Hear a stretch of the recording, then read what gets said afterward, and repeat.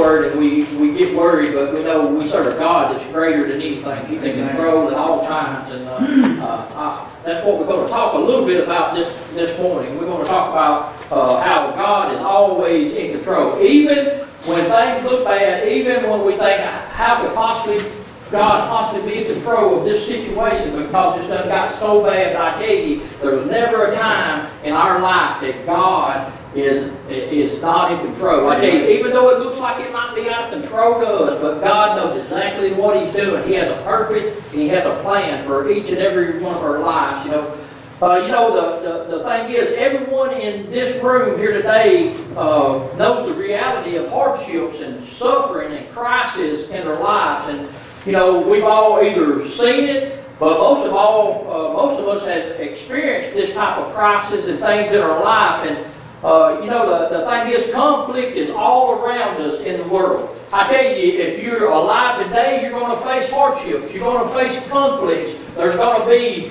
trials and tribulations in your life. You know, it doesn't take long to look around and see all the, the death, the disease, the warfare, uh, all these things. These are evident. We can see them happening, and we know that, hey, uh, the thing is, crisis comes on our life.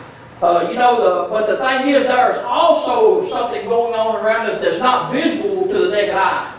And that's spiritual warfare. I tell you, each and every one of us today are facing a spiritual warfare in our life. I tell you, you may not want to uh, think that you're doing that, but I tell you, you are. I, I tell you, it happens to all of us. And today we're going to be looking at Job.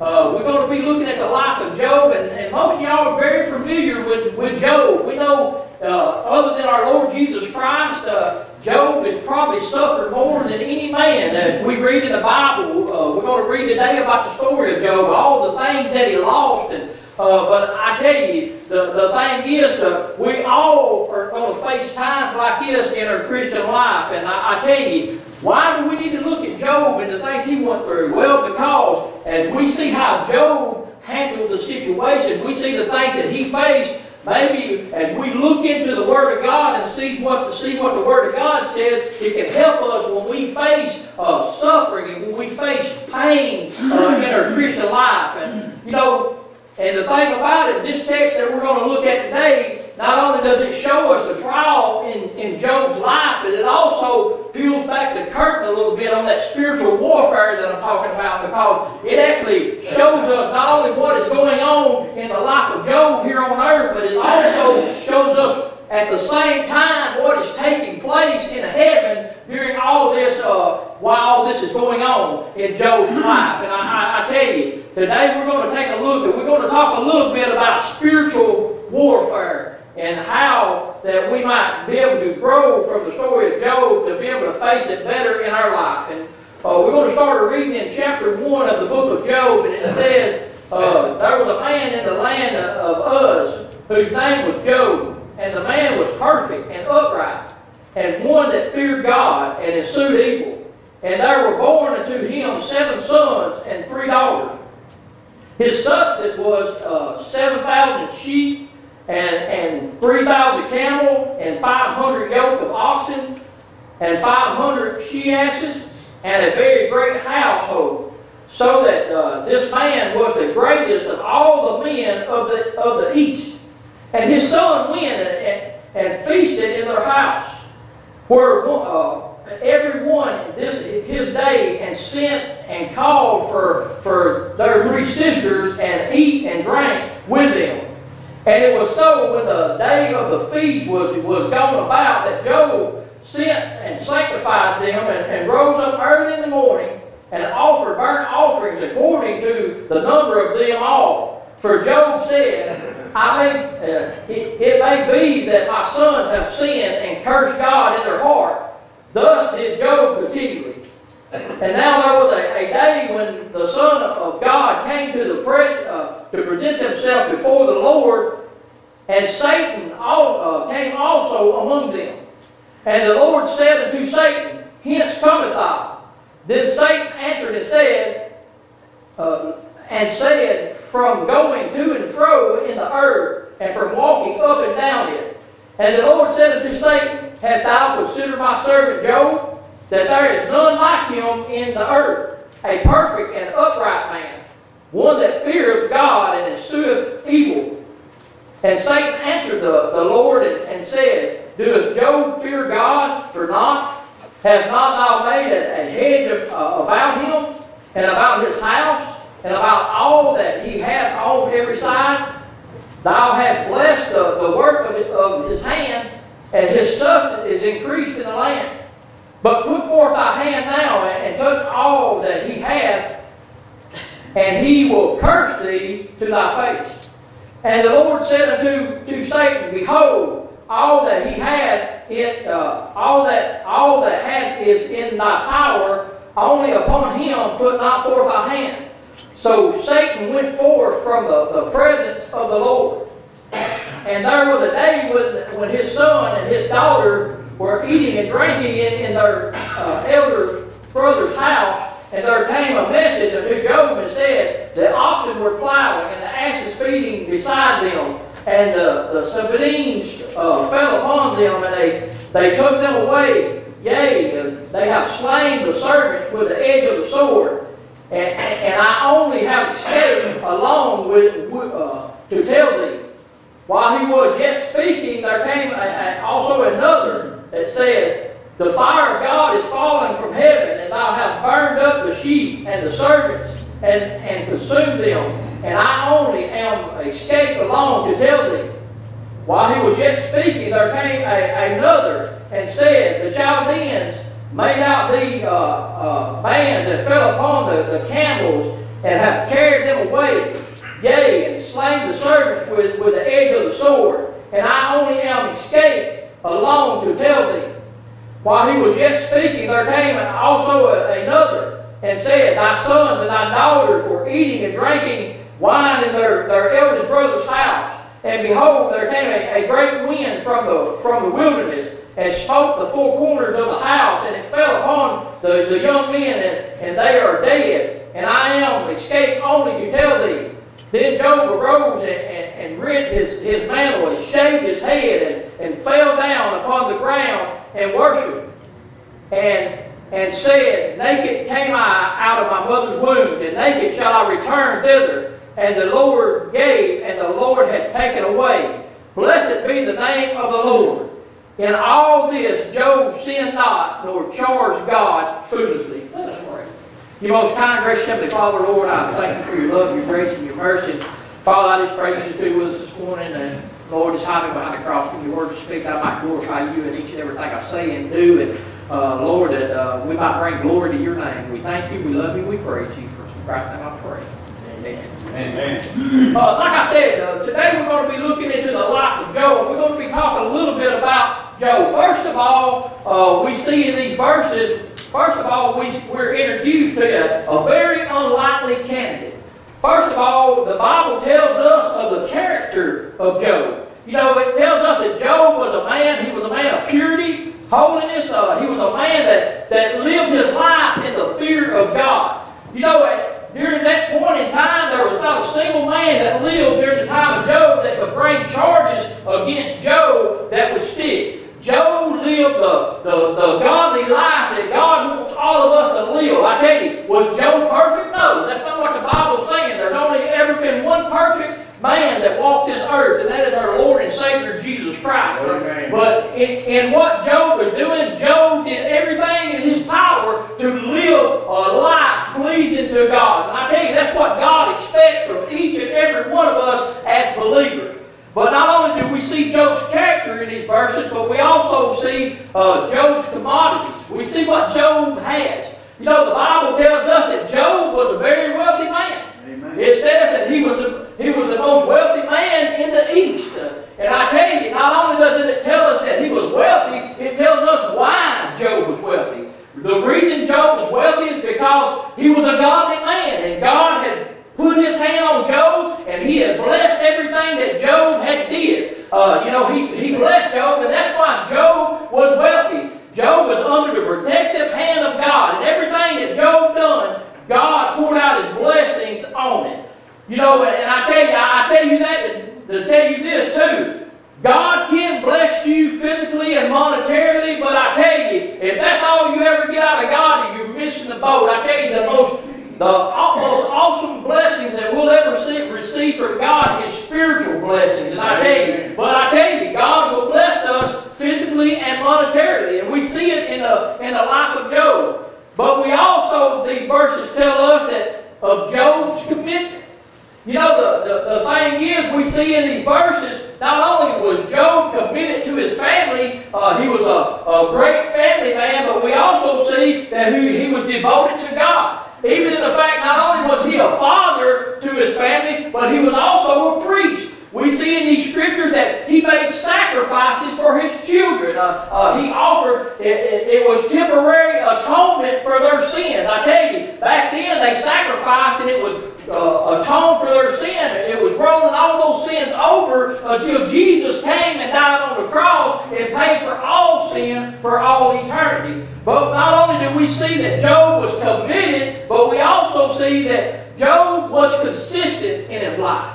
You know, the, the thing is, Job was not one of those, those Sabbath day Christians. He wasn't one of those that, that lived one way on Sunday and, and Wednesday and, and lived like the, the world the rest of the week. I tell you, the Bible tells us that, that he sought God each and every day of his life. It said that he, he eschewed evil. He tried to live a holy life to all his capability. He tried to refrain from sin in his life. And I, I tell you, Job was consistent in that. The Bible tells us that Job was an upright, righteous man. And I, I tell you, that's what God expects from every believer. He expects us all to live that type of life.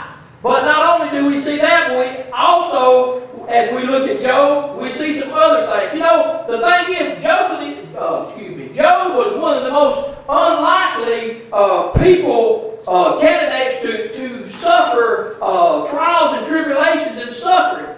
You know, most people live under the ideal if you're a Christian, you only suffer trials and tribulations in your life when you do something wrong, when you've sinned against God. See, Job's wife, if you read later on in chapter 2, Job's wife and Job's friend, they were under the same assumption. They thought, hey, undoubtedly Job must have brought this on himself. Job must have done something. He must have sinned against God. But I tell you, the thing is, we do know that when we sin against God, there are consequences. I tell you, a lot of things that come into our life is because we sin against God. Uh, we make bad decisions, bad choices in, choices in life, and I tell you, it brings uh, reproach and it, it brings uh, uh, suffering into our life. And sometimes it's not things that we do. Sometimes it's because of what others do. I mean, because of other people's sin. I tell you, we get involved in that, and I tell you, it brings uh, suffering and pain into our life. But I, I tell you, the, the thing is, we have to uh, come to understand but there's also times in our life that, that, that God brings suffering into our life. See, and you say, well, man, that sounds, that sounds kind of rough. But I tell you, see, the thing is, God is not doing this to hurt you. God is not doing this to bring pain into your life. God is doing this to grow you and to make you grow in your Christian life. I tell you, we see this in the in the book of Job. You know, the, the, the thing is, we suffer all this. Why? To bring glory to God's name. I tell you, that's why Job is suffering what he's suffering in the Bible here. It's because it, uh, it is to bring glory to God's name. See, think about this. You know, the tallest tree in the woods is the tree most likely to get struck by lightning. You ever thought about that? And the thing is, when you live a life like Job was living, a life that stood out from all the other people, a life that was lived for God, and I tell you, when the devil sees these things, I tell you, the devil wants to get on the attack. Why? Because he wants to steal that glory from God. See, the thing is, the devil hates everything about God. He wants to steal all the glory from God. He wants to be God, but I tell you, he will never be. We know that he is trying to steal the glory from God. See, what's going on in Job's life is not about Job's wealth. It's not about Job's trying to steal the glory for God out of Job's life. And I, I, tell you, that's what he's doing in our life. He wants to steal all the joy out of our life that, that we have for God. But we also see in, the, in these verses that we also see an unseen conflict. You know, as Job is living on earth, there's something going on in heaven. You know, Job, he, he couldn't see what was going on. He, he couldn't tell. He didn't, he didn't have this information. And I tell you, that same conflict is going on in heaven today. Amen. That's what we have to understand. See, the, the thing that I want to take a look at what's going on. First of all, we see a heavenly assembly. We see that these angelic beings are coming in. What are they doing in heaven? They're coming before the throne of God and, and they're giving, uh, they're answering of their service. God wants to know what they've been doing and they're giving an answer for the service that they've been doing. And we understand all these angelic beings coming before the throne of God. They all answer to God. But I tell you, sometimes we wonder, why is the devil show up? Why does Satan show up at, at the throne of God? You know, the Bible tells us that, that God doesn't, can't even look upon sin and evil. But I tell you, here we are in Scripture that the, the devil is standing before the throne of God. I tell you, there's things going on here in the Bible that we don't understand. We don't have the answers to right now. And we won't know these things until we stand before an Almighty God with a perfect understanding. But I do, I do know this. Every single thing that's here on earth or in heaven are under the control of God. They have to answer to the sovereign power of God. See, the thing is, the devil is restrained by the, by the power of God. See, the thing is, what we have to understand, if God was to remove that restraint from the devil, as bad as we see things are here on earth now, you don't truly know what it would be like until if God removed that restraint from the devil. And I tell you, we're going to see it later on in the end times through the tribulation periods and, and, and when God releases the devil that last time, I tell you, removes the restraint. we're going to see what that's all about. But I, I tell you right now, we have to understand, even the devil has to answer to an almighty God. He's under the hand of a the sovereign power of God. But we also see in these verses a heavenly acknowledgement. You, you know, as, as he stands before God, he begins to speak and he begins to make accusations. But if you notice, the devil doesn't speak until God speaks to him. See, we, we see who's in charge of all this. And once he starts to speak, what does he do? He starts making accusations against uh, Job, God's man. And I tell you, you know, he's living up to, the, the devil's living up to his name. You know, the Satan means an adversary or one who stands in opposition to another. You know, I tell you, the thing is, we see this, what he's doing here in heaven. He's making accusations about Job. He said, that old Job, he ain't all you think he is. I tell you, uh, you might think he's this or that, but I tell you, if you take your hand off Job, only reason he's worshiping you is because you got that hedge of protection around him. And I tell you, you blessing every single thing that he does. And I tell you, if you, you remove all that, I tell you, Job will curse your name. And I, I tell you, we see that, that he's making accusations here. But I tell you, you know, he didn't quit with Job. See, the thing is, He's still doing the same thing today. See, the devil still has access to the throne of God today. And I tell you, he's accusing us today, God's children. You know, the Bible tells us that, that he's the accuser of the brethren in Revelation. I tell you, every single one of you, he's going before the throne of God and he's saying, that old Scottie, uh, he's not what you think he is, uh, God. He's, he, he, he's bad. He, he's evil. But I tell you, we have something today uh, that you know, even though he's up there making these accusations today, we have an advocate at the throne of God. I tell you, when Jesus came and died on the cross, he purchased us. I tell you, when we believed in faith, that sin, uh, when he died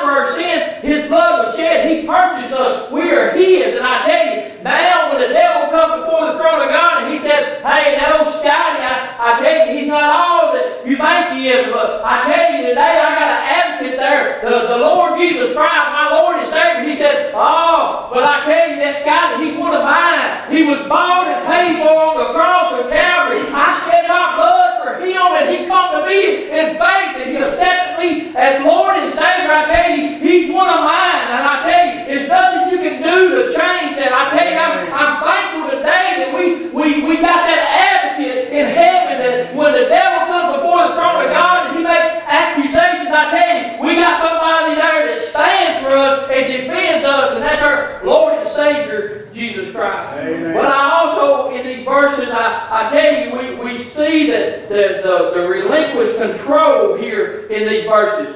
You know, the, the thing is, a lot of people have a hard time understanding these verses. They say, well, if God is in control, how can He let all these bad things happen? You know, that's what a lot of people, when they look at this, they say, if God was in control, how did He let Job's family die? How did He let Job lose everything? How did He let Job's health deteriorate? How, why, why did He let all these things happen? You know, I tell you, we don't understand pain and suffering. But I will tell you this. God is in control of all things. There's a purpose for each and everything. See, everything that comes into our life, it may not be pleasant. It, it may not be something we enjoy. But all of that is part of God's plan for our life. See, God is taking what the devil does, he can take that and he can use it for his glory. We have to understand that God is sovereign. God is, is in control of all times.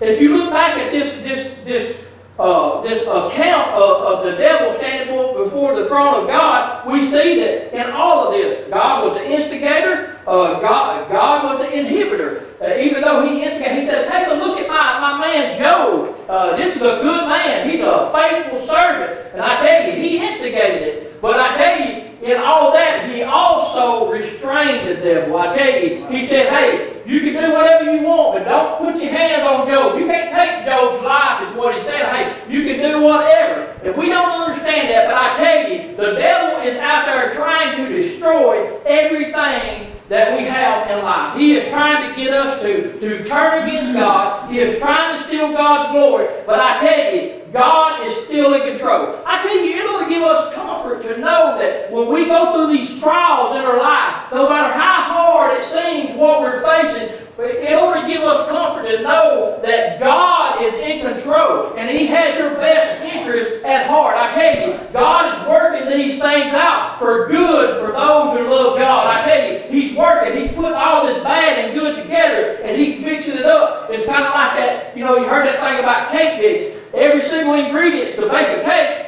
tastes horrible by itself, but when you put it together and you, you blend it all up, I tell you, it makes a pretty good tasty cake. Uh, but the thing is, that's what God is doing. All these things come into our life. God blends all them up and He works it for His glory. I tell you, we ought to be thankful that, that God is in control. You know, I hear people all the time talk about, well, uh, I got unlucky. Well, I, I made a mistake.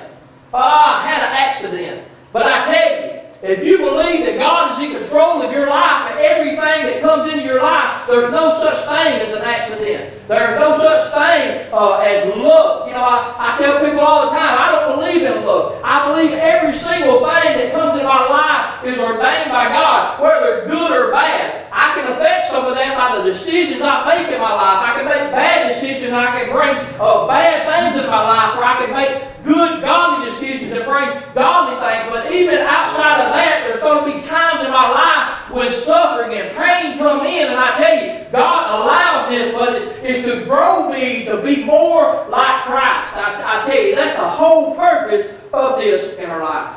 But we also see in this story an unfazed commitment. You know, even after Job faced everything he faced, he lost his family. He lost his wealth. He lost his health. Job lost everything here on earth that he had. But you know, even as we see Job doing all that, we see that Job still had a testimony for God. Amen. See, Job didn't let the devil rob him of him giving glory to God.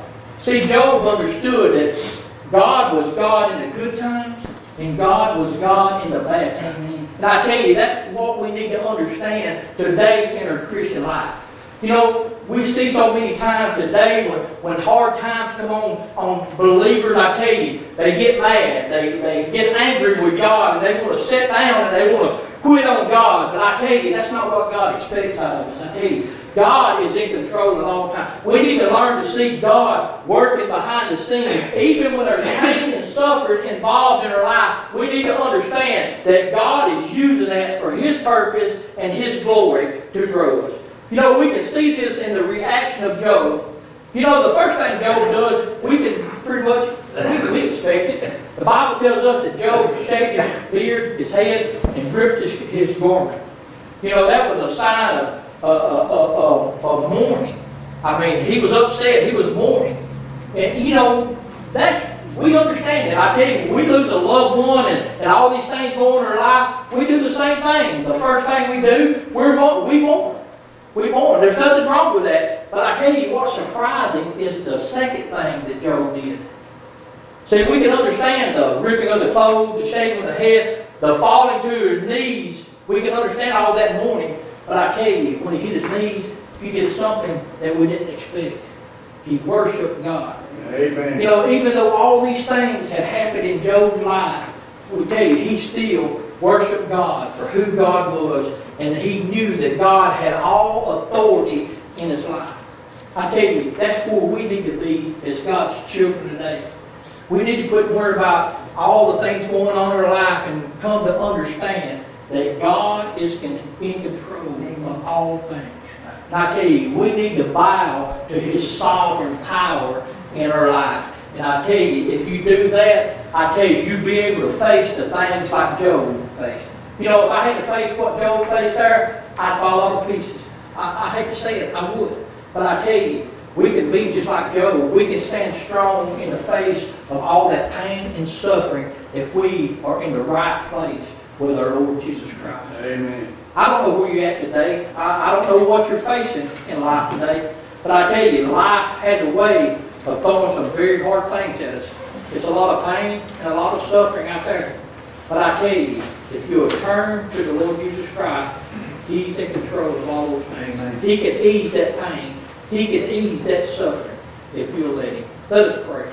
Dear most high gracious Heavenly Father, Lord, as our song leader and piano player come today, I, I just pray you just be with in this, this invitation, Father. I don't know the need today, but Lord, you do. If there's someone here today that don't know you as Lord and Savior, uh, they don't know uh, what you've done for them on the cross of Calvary today. I, I pray that they step out today in faith and receive you as Lord and Savior. Uh, Lord, maybe there's some people here today that are going through some very difficult times in their life, Father.